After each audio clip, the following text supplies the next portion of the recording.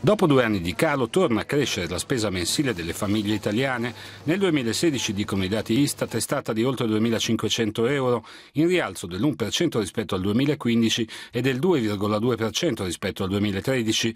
Si consolida a un ritmo moderato, spiega l'Istat, la fase di ripresa dei consumi, anche se il livello rimane ancora al di sotto di quello del 2011. In particolare boom dei consumi nelle grandi città, dove ogni mese le famiglie spendono in media quasi 2.900 euro, oltre il 10% in più rispetto al 2015. Partendo dalla spesa media si nota anche un cambio di dieta degli italiani, con, secondo l'Istat, una crescente attenzione ad un'alimentazione più corretta, su una spesa di circa 450 euro mensili, pur rimanendo una voce importante torna a diminuire la quota per la carne, mentre aumenta quella per la frutta.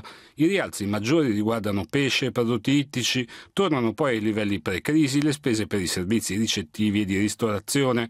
Se si restringe il divario nei consumi tra nord e sud, spicca la forte differenza tra i nuclei familiari di soli stranieri e quelli di soli italiani.